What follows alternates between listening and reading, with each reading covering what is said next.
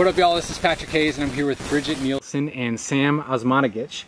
We're here at the Bosnian Pyramid, which is an amazing discovery that Sam discovered about 14 years ago that is completely revolutionizing our understanding of history as well as our understanding of science and technology.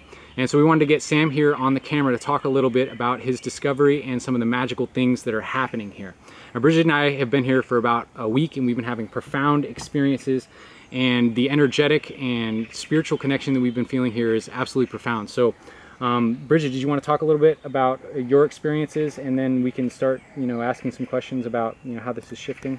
Yeah, it, has been profound, especially obviously in the tunnels, um, what we've been experiencing, uh, which I think we'll go into. Um, but we wanted to start by talking about this this pyramid complex's um, effect on the history of humanity because it's been amazing that such things as ancient aliens or Graham Hancock kind of like breaking up the cultural narrative and planting the seeds um, of, of history and what it was and what um, it can be and kind of expanding and reprogramming our minds but this kind of takes it to a whole other level. And so how does this affect the story and history of humanity the technology the meaning of life like who we are as humans almost everything they teach us about the ancient history is wrong. Yeah. The origin of man, civilizations, and pyramids. What we have with the Bosnian pyramid discovery are the first pyramids in Europe, the biggest on the planet, the best quality concrete that covers the Bosnian pyramids, the most precise orientation to the north. We have the most extensive prehistorical underground tunnel network and above all, the oldest pyramids ever, over 30,000 years old. Officially, history started with the Sumerians 6,000 years back, then Babylon, Akkad, Assyria, ancient Hittites, ancient Egypt, ancient India, 5,000 years. This is just the last civilization cycle. Before this one, there was another one which ended 11,500 years back and another one 18,000 and another one 32,000 55,000 75,000 so the history of humanity is not evolution but cycle after cycle after cycle. This is a huge change in a way that we view the ancient history. What we are proving here is that we have the pyramid complex that belongs to the several cycles before existing one but that's only the one thing. Another one, as uh, we've been programmed in schools to think about the pyramids, Egypt, pharaohs, tombs, we need to forget that. Or Mexico, places to sacrifice the enemies, forget that. We've been defining pyramid in a very scientific way. The pyramids are energy machines or more precisely, the pyramids are huge energy amplifiers. They amplify the existing natural energy sources. Electromagnetic fields that, gener that is generated by the you know, huge iron plates. Then we have water stream, negative ions, second water stream, electricity, a lot of quartz crystal, which transforms electromagnetic field to the ultrasound, level of orgone energy reaching 100%, contaminated series about 25%. So now we realize that ancients were so smart, they knew that the most powerful geometrical shape in nature is four-sided pyramid, mm. which amplifies existing natural sources. And if you use elements of sacred geometry for example, equilateral triangle. In our case, pyramids of sun, moon, dragon, they form equilateral triangle.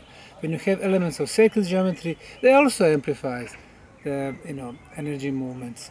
So the ancients were building pyramids not for one dead body, that one of mm-hmm. king or pharaohs, but to last generations and generations for living communities. This is a revolutionary view, you know, for the pyramids. That's why this project is so important. The next question, of course, is what this energy was used for. Now we can see that on the top of the Bosnian Pyramid of the Sun, we were able to detect and measure existence of scalar waves, electrical in nature, 28 kilohertz frequency, which is ideal to transport the energy and information. Mm-hmm. Nikola Tesla, 120 years ago, was using the same frequency of 28 kilohertz mm-hmm. to transport the energy between two cosmic bodies regardless of their distance. Mm-hmm. So, scalar waves on the top of the Bosnian pyramids. So, the physicists and the electrical engineers have proved that. The second potential purpose of pyramid energy to protect what is the most precious for us, mm-hmm. our health. So you can see visiting the tunnels, staying on the sun pyramid, people get better, people with asthma, they start breathing well, people with high sugar in the blood, it gets back to the normal, people with high blood pressure coming back to the normal, people with very serious diseases, they can see significant health improvement. So it's very logical.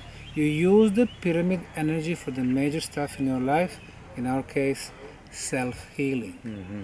Number three, the water that we've been discovering in the pyramid tunnels has improved molecular structure. This water vibrates high. Not only that it is uh, healthy in a sense, no viruses, no bacteria, pH is excellent, 7.6, but it vibrates high. It's mm-hmm. a healing water. Number four, food. Last year we did experiments with the seeds of beans. We put some in the tunnels, on the pyramids, and the third one was control group from the store. After 10 days of incubation, we could see the big difference between the one from the store. One from the store about 60% of the seeds start growing.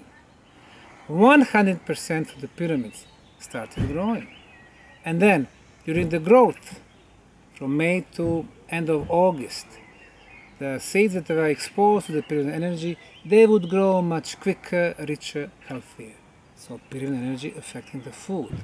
We have machine to measure the human auric field, stress level, chakras, their balance, in the last two and a half years, we have measured 1,400 people, and guess what? In more than 95%, people had improved auric field, reduced stress level, chakras were coming back to the balance, and they would open much more, meaning the energy would flow better in our body. And finally, energy in the cells, which help us fight diseases, was also improved. So obviously the pyramid energy affects everything and anything. So these are some of the revolutionary investigations that we have done here. And not only that, even it affects us mentally, spiritually also, because we could see really major changes in some of the people that would come here. So now we are, you know, at the threshold of the new science, the pyramid science, and we are the first one who's actually advancing this new science. Mm, absolutely, and then the, this is also then revolutionizing bioarchitecture.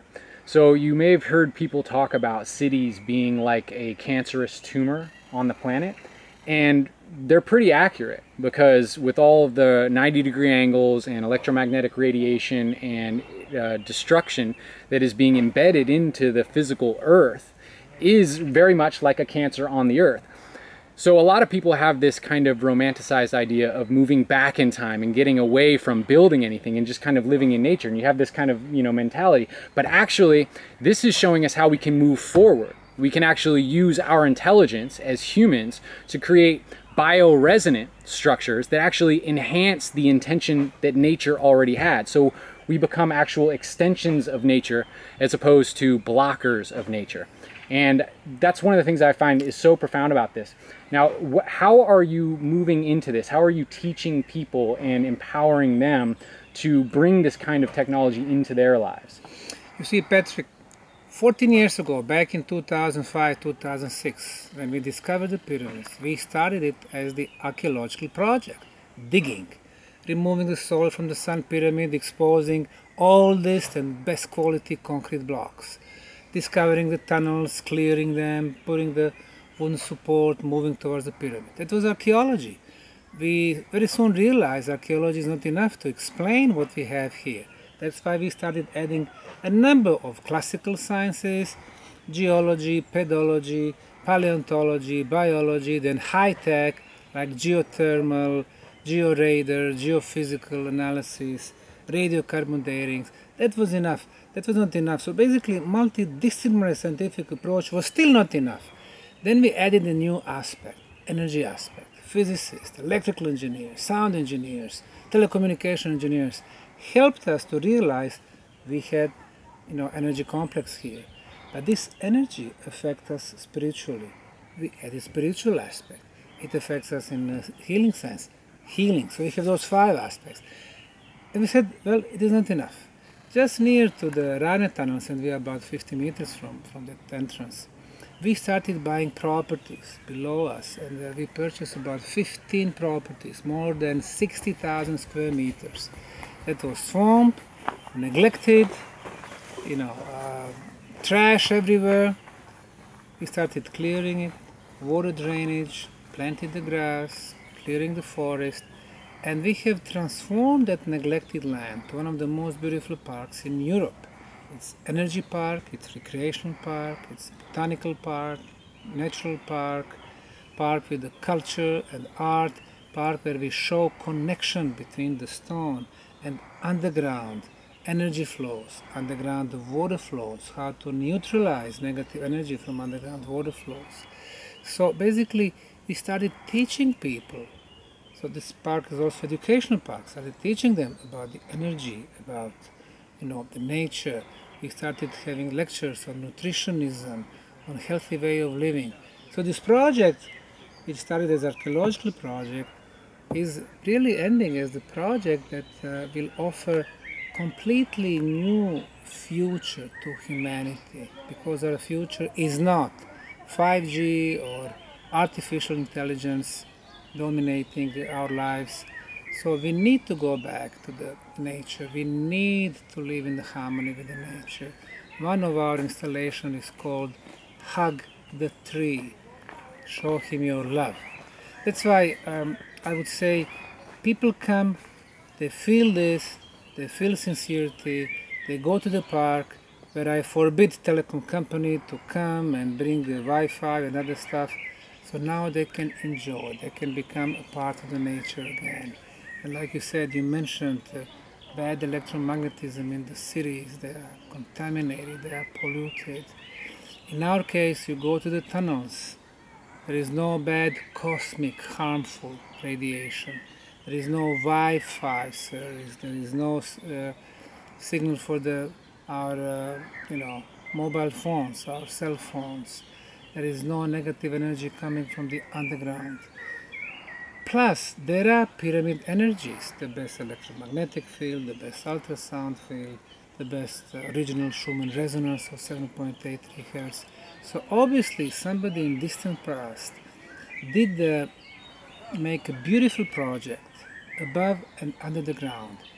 And here we are to learn from them. I realize that there are a lot of people, especially from the cultural establishment, opposing the ideas that pyramids were built in Bosnia, of all countries. And secondly, that those pyramids are the oldest on the planet.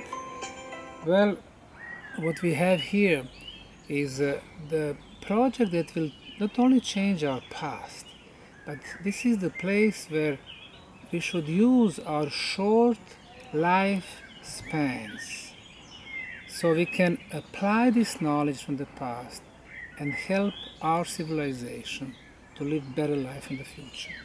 Absolutely.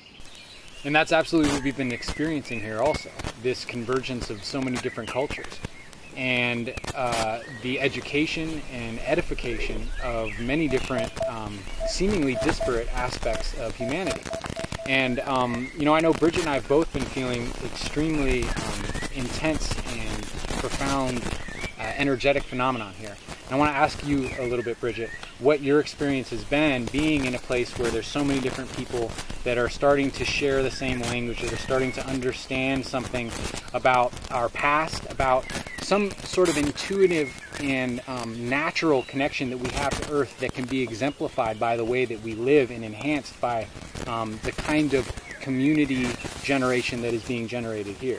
Yeah, and being very intuitive and psychic and having some of these abilities, it's going to other sites, you know, around the world where farmers built it 4,500 years ago with rope. You know, it, it, it the, having that narrative imprint has been limiting. But coming here and seeing like hundreds of children over the past week getting to just like play in these like sacred spaces and on the playground and then the education system that you've created too. Literally, it's like my, my inner child is personally so excited because I would have loved to understand this because I could feel it. But it's created for me a profound freedom because you have created this space that's open, that's open. Like it's still mysterious, but things are being discovered, but it's um, fully available for anyone to kind of tap in and to explore and to expand in any capacity in which they want and to collaborate in any way that they would like. And so having that field available just makes it so much easier to, to tap in and and for us we've been having profound he- energy healings and having all this like plasma that we've been playing with in the tunnels and putting it into each other and con- connecting with different beings and different places and energies and so it's been uh, really, really profound. But I, I definitely um, put that together with the, the intention that you and everyone here is holding, which isn't available in these other spaces. So I thank you for that. Isn't it beautiful that you can enjoy the most open yeah. project in the world? Yeah. Mm-hmm. I mean, you go to other places I mean, it's always something strictly confidential. Did they mm-hmm. find below the left cone of the Sphinx in Egypt? Confidential. Yeah. Chinese pyramids? Confidential. Why is it confidential? This is the knowledge that belongs to all of us. It's cultural heritage of the planet. That's the reason why, from the very beginning, we said the Bosnian Pyramid Project will be the most open project in the world. Mm. That's the reason why I invite professionals and non-professionals to come and join us. In the last 10 years only, we had more than 3,450 volunteers from 63 countries. The other day we had the guy from New Caledonia. I mean, New, where is New Caledonia?